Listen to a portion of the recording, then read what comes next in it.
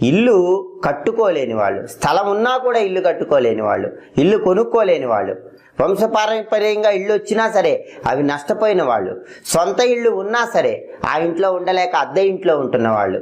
వీళ్ళందరూ కూడా ప్రధానంగా భవన దోషం వల్ల ఈ సమస్యలు ఎదుర్కొంటూ ఉంటారు. మరి ఈ భవన దోషం పోవాలంటే ఏం చేయాలంటే పరిహార శాస్త్రంలో ఒక అద్భుతమైన పరిహారం చెప్పారు. ఆ పరిహారం ఏంటంటే కందిపప్పు మినప్పప్పు పెసరపప్పు. మర ఆడించి పిండిలాగా చేసుకున్నాక ఆ మూడు పిండ్లు కలపాలి.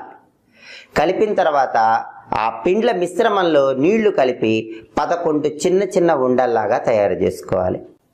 ఆ పదకొండు చిన్న చిన్న ఉండల మీద బెల్లం ముక్కలు ఉంచాలి.